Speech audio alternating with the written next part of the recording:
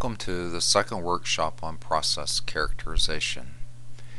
In this workshop we will test the process to determine its process characterization.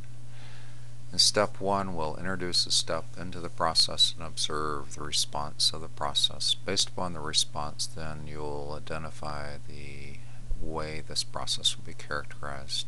For this uh, workshop uh, there's a dynamic simulation of the process where you'll be able to change the process input using the AO block and observe the process response using the AI block. To get started in this workshop, go to the workspace area. In the workspace area you can change the um, analog uh, output set point to introduce a step change into a process. So in this case we'll introduce about a 10% change in the process input.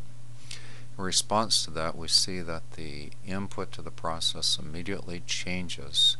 However there's some delay in terms of the process output reflecting that change and that uh, value as it starts to change is shown up in the analog input. To better visualize and see the process response, let's look at our chart. By accessing the chart, we see that there is some delay between the change in process input and first seeing a change in the output. However, a more important aspect is, is that the immediate response after the dead time is in the opposite direction of the long-term change in the process. So we know by this response that this would be characterized as an inverse process and that this can be a difficult process in terms of commissioning and control.